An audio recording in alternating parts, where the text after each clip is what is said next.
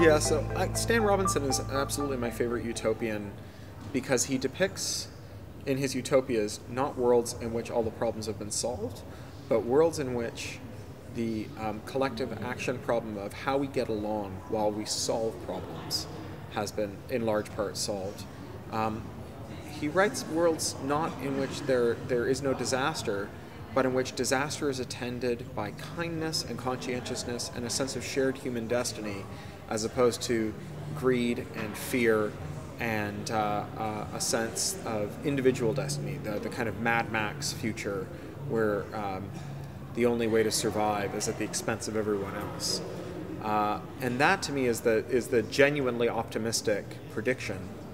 because we live in a dynamic universe, right? Whatever works today will no longer work tomorrow because something will have changed by tomorrow. And so the important thing isn't whether or not all the circumstances are good. The important thing is what happens when the circumstances are poor. Uh, that um, it's not how well the system works, it's what happens when it fails that distinguishes a utopia from a dystopia. So you take Stan Robinson in a book like 2312, uh, that's, a, that's a book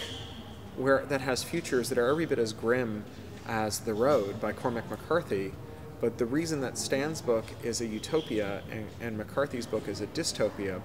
is because McCarthy visits upon the human race the slander that when the lights go out, people go over to their neighbor's house and kill them and eat them. Literally, in the case of McCarthy. And, and Robinson aspires to a future that where the, when the lights go out, people go over to their neighbors' houses and see how they can help.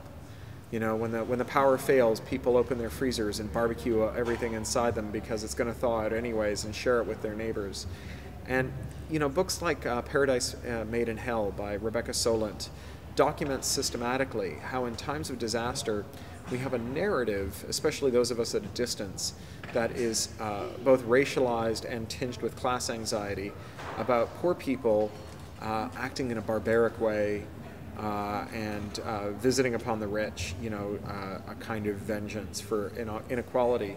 But that when you actually look on the ground, that apart from elites who are gripped in their, a panic of their own making about uh, uh, this this coming vengeance, this sense, I guess, of, of kind of retributive guilt that, you know, they, they that having lived so high off the hog for so many years in the in the, in the midst of people uh, with nothing that surely vengeance must be soon. Um, that actual kind of normal people just just kind of help each other out, and that where you see horrific violence and, and barbarism, it is almost always the, the fault of uh, an anticipatory, uh, uh, preemptive violence against everyday people on the grounds that they must be on the verge of, of breaking loose into barbarism, the, the preemptive shooting of looters, that sort of thing. You know, the, looting is, uh, especially in times of, of existential disaster, is, is really just, uh, you know, liberating of supplies. I mean, and, and literally in the case of uh, Hurricane Katrina, CNN aired footage of white people breaking into chemist shops and taking medicine and water and food and described it as commandeering and black people doing the same things and described it as looting. So that elite panic uh, is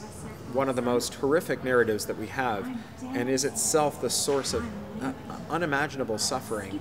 in times of crisis. Uh, and so utopianism is not just important as uh, a way of thinking about the human race, but as a countervailing force to that narrative, as a way of kind of keeping people from assuming that their neighbors are going to come over and eat them, and so going over and preemptively shooting their neighbors before it happens.